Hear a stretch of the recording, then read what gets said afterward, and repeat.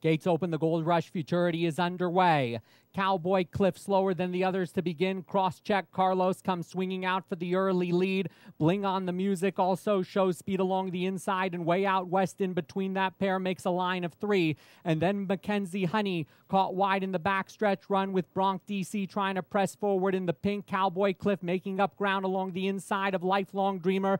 And then a gap back to Galactic Princess second last. And Crafty Me is the trailer as they move into the far turn. And the shippers are 1 2. It's Bling on the Music, the filly from Texas, along the inside of the California based Louisiana Stakes winner, Crosscheck Carlos. They eyeball each other at the halfway stage, and they open up four lengths on Lifelong Dreamer in third place. And then comes Cowboy Cliff with Galactic Princess trying to make up ground on the outside as they turn for home in a two horse race at this point with Bling on the Music and Luis Quinonez cutting the corner and now opening up three lengths on cross check Carlos and then Galactic Princess in third place, but inside the final furlong, it's Bling on the Music who's playing the right tune to become the first filly to defeat the males in the Gold Rush Futurity at Arapahoe Park. Bling on the Music, a dominant performance. A photo for second is another filly. Galactic Princess ran on to be in a photo with Crosscheck Carlos. And then Mackenzie Honey in fourth place. The final time for six furlongs,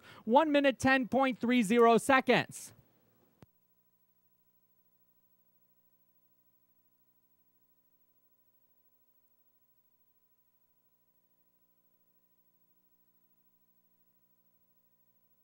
Number one, Bling on the Music defeats the boys in the Gold Rush Futurity with a photo for second place.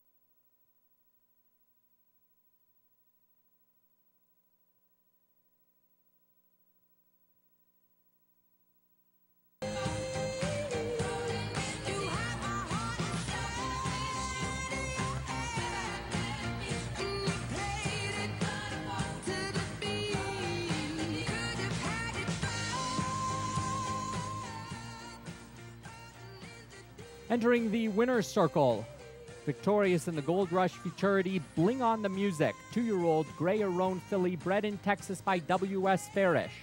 Bling on the Music, sired by Too Much Bling, out of the Action This Day dam Soft Music.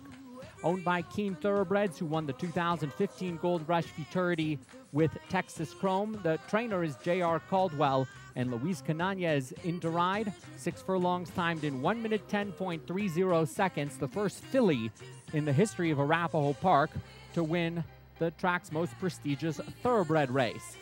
Trophy presentation being made in the winner's circle with a special guest to present the trophy.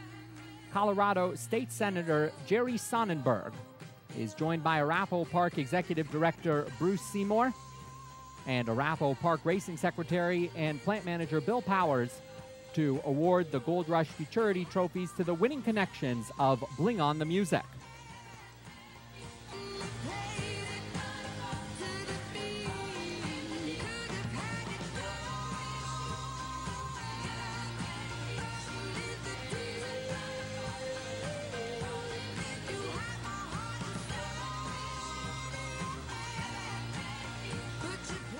The result of the Gold Rush Futurity in race number nine is official. Number one, Bling on the Music at four to five pays three dollars and eighty cents for the win.